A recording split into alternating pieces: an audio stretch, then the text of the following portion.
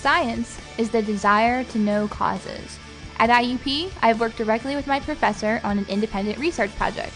I've studied melatonin to discover why certain biological processes occur during different times, like the sleep wake cycle in humans. I'm Christie Ritchey, a student in the IUP Biology Honors Program. I actually came to IUP as a nursing major initially, and that was, I guess, the whole desire to help people side of me coming out. But I've always naturally been a very curious person.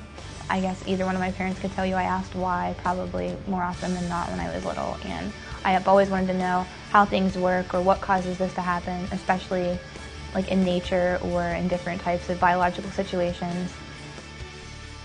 After you take your general um, chemistry and biology courses in college, you get into more in-depth science courses.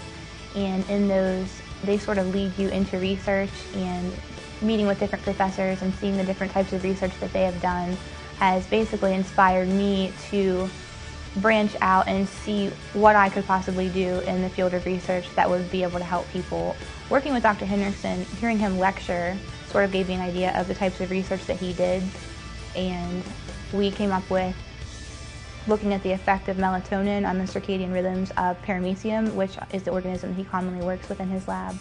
And through that, it's taught me a lot more than just the techniques involved in doing what I'm doing. It, it taught me basically the time that's required and the dedication that's required to be involved in research. Like we're coming in at 9, 10 o'clock at night, up very early in the morning. It's around the clock, seven days a week type of thing. But it's very rewarding when you're done and you have results that basically expand the current field of knowledge and you've done something that no one else has ever done before.